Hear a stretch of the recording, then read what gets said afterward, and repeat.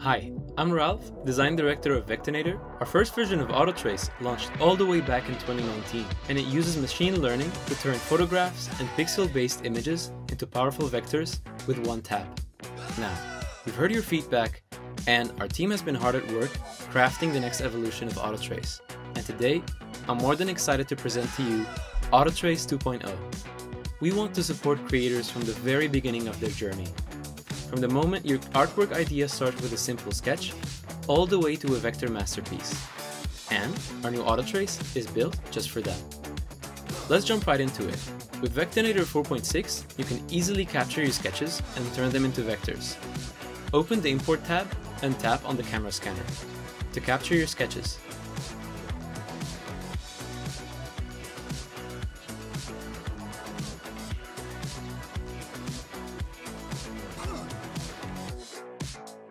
Now, all you need to do is to select the image and the new auto trace options will show up in the inspector panel and quick actions.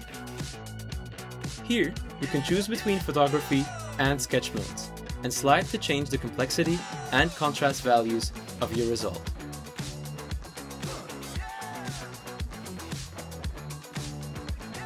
If you're torn about what options are optimal for your image, we use machine learning to automatically predict and choose the right auto trace value for your image, so you don't have to stress about that.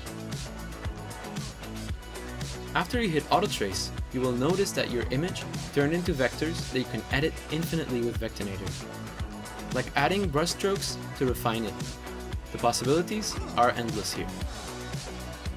Now, the new Sketch Auto Trace is not only optimal for sketches, let me show you some examples of how auto tracing graphics like logos and typography can also look optimal for you.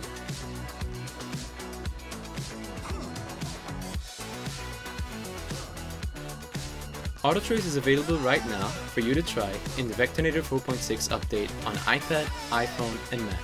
And it wouldn't have been possible without our team, Melchior, Leo, Marco, Valerie, and Igor. So thanks for watching, stay tuned for more exciting updates from our team soon.